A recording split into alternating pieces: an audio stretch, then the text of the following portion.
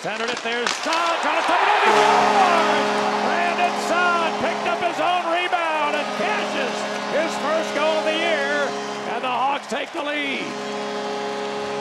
Brandon Saad takes it to the net himself, and watch how he protects the puck.